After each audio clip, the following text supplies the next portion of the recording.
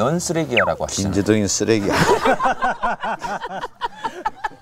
사책은 절대 하지 않아요. 타책. 니너 때문이야. 야, 너 때문 아니야. 야, 네가 잘했으면 그럴 일이 없지 마. 그렇죠, 그렇죠. 그럼 어떻게 하세요? 아, 그럼 난 또 그러지. 아, 쓰레기. 그래, 나 때문이다. 환상의 호흡인데. 네. 환상의 호흡. 근데 제가 옆에서 지켜봐서 아는데 고기 되게 좋아하시잖아요. 네네. 한가의 저 고기 소문은 고기를 너무 좋아하셔서 자꾸 욱한다. 초식 동물인 토끼한테 고기를 계속 먹였더니 실제로 이게 성격이 되게 난폭해지고 거칠어졌대요. 어떻게 생각하세요? 아니, 아니, 잠깐만.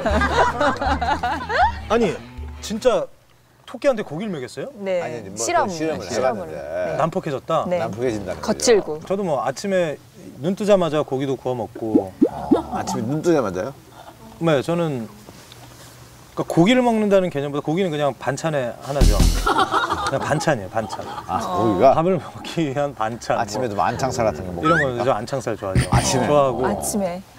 예, 이렇게 혼자 살다 보면 잘 안 챙겨 먹고 그렇잖아요. 그렇죠, 뭐 그렇죠. 인스턴트 식품 많이 먹고 아니면 귀찮아서 시켜 아. 먹고 하는데 저는 고기를 구워 먹습니다, 혼자. 고기를 구워 먹는 게 그렇게 이게 하루 몇 몇 끼 정도 먹어봤어요.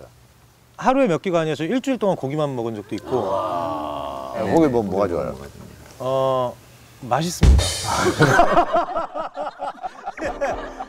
굉장히 맛있죠. 네, 안창살. 아, 네, 고기 맛있어요. 맛있어요. 고기. 그러니까 뭐 어릴 때부터 고기 먹고 이런 거 보면은 어 royal family 출신이 아니겠느냐.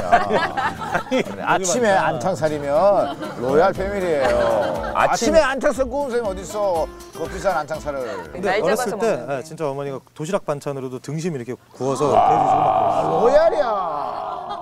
요만큼씩 조금씩. 아, 알았어, 알았어요. 이 집안이 로얄 패밀리 집안이에요. 그렇습니까? 그럼요. 대학 이 공부가 장난이 아니에요.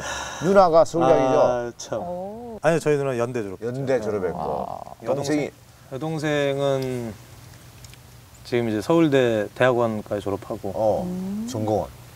컴퓨터공학과. 본인은 이게 좀 미안한데 본인은 이게 좀 본인은 쓰레기죠. 쓰레기. 아, 난 쓰레기구나. 난저 쓰레기네. 아니 어, 본인은 왜 뭐, 이거, 이거 안 한 거예요? 야 그렇게 얘기하니까 진짜 난 쓰레기 좀 줘봐. 아니 아니. 나 여기 놓고, 놓고 하게. 아니 왜 안 했어요? 왜? 아, 어느 날 제가 제 동생한테 한번 물어봤어요.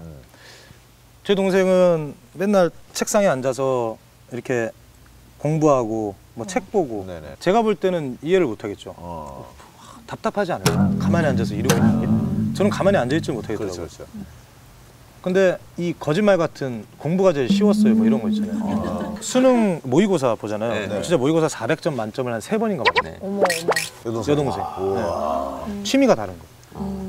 분명히 비슷한 머리를 갖고 태어났을 텐데. 근데 말씀을 들으니까 아버님이 일찍 돌아가셨어요. 네, 저 어렸을 때 네, 돌아가셨는데. 저, 뭐 저도 그래서 네. 저는 100일 되기 전에 돌아가셨거든요. 제가 태어나서.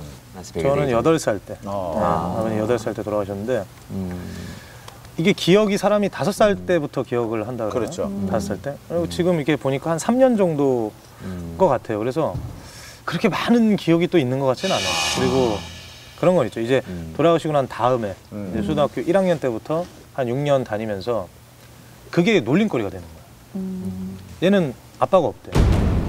그러면서 막 그거 갖고 막 놀리고 그럼 저는 또, 또 욱하죠. 음. 또 싸우고 막 그랬던 것 같아요. 음. 뭐 지금 생각해 보면 그냥, 그냥 웃고 넘기는 거죠. 너무. 음. 근데 그 네. 아버님은 뭐 병안으로 돌아가셨어요? 어, 그러니까 정확하게 물어보질 않았어요. 제가 어렸을 때 들었던 거 이후로 제가 어머니한테 어머니는 아실 거 아니에요. 정확한 뭐. 뭐 갑작스럽게 돌아가셨는데 저희 아버지 이제 은행 다니셨는데 뭐 점심 시간에 이렇게 걸어가다가 뭐 이렇게 피가 나오셨는데 그걸 이제 다시 그냥 맞고 다시 이제 피가 음. 그래서 쓰러지셔서 바로 앞에가 병원이었는데 가셨는데 뭐 돌아가셨다고 하더라고요. 음.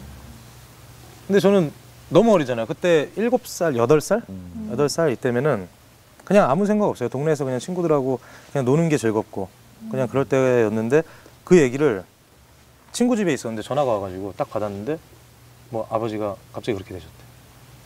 근데 그 얘기 듣고 딱 처음 드는 생각이 얼마나 철이 없냐면